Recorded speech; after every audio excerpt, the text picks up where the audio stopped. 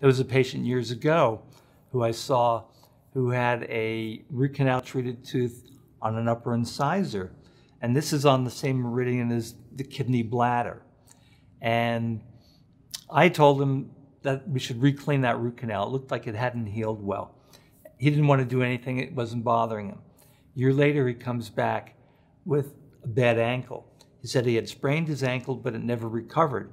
He had gone for physical therapy, gone to see other chiropractors, had acupuncture care. Nothing resolved the problem with his ankle. He said to me, Is it possible that my tooth is interfering with the healing there?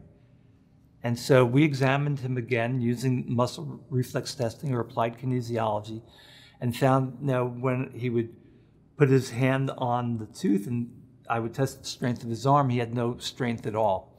I also had him just hold his foot in different positions to see which muscles in the ankle were weak and found the muscles along the inner part of his ankle related to the same meridian, kidney bladder, were in fact weak.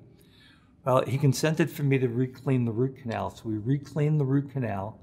And once I had removed the toxins and I tested the tooth and it was strong, we tested his ankle again. The muscles in the ankle, which had been weak an hour before, were now strong. It had been a whole year, they had been weak and had not healed. But it was like the speed of light removed the blockage to the healing, and the healing took place.